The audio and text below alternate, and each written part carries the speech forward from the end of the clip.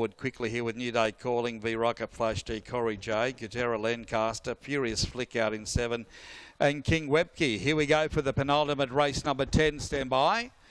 Favourite in box six, ready and racing now. I'm a Necromancer coming across quickly in search of the lead with New Day calling. Uh, now King Webke is holding down third. A break to Gadara Lancaster. Furious Flick is making ground with a break behind a B Rocket Flash G and Corey J on top selection though. I'm a Necromancer had them covered after a shot to the lead through the circle. Second will go to uh, King Webke. I think for third was New Day calling, uh, although well up there was Furious Flick. That is a photo. A break behind them, well back Flash G with V Rocket Corey J uh, for race number 10. Now standing by six, your winner.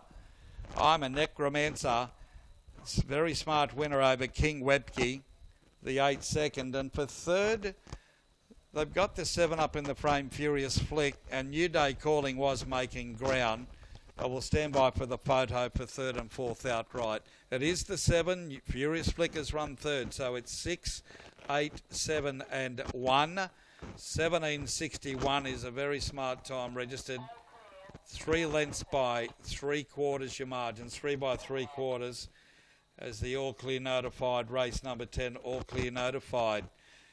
Now we'll just to go repeat the margins here. They were three by three quarters of a length. The run home time 14.43 overall 17.61.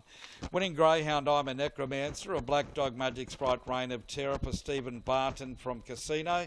Congratulations to you as. Uh, well graded tonight in a sense, just had to step on terms with them and showed its true potential. Congratulations. Second going to 8 King Webke for Gary Cluss, Black Dog by Destiny, Fireball Shore Destiny, and third to number 7 Furious Flick, Robert Andrews, a Black Bitch, Bralin County, Pedro's Integrity, with the first four takers, number 1 New Day calling into 4. 6871, 1761, three lengths by three quarters. The all clear now notified, race 10 at Grafton.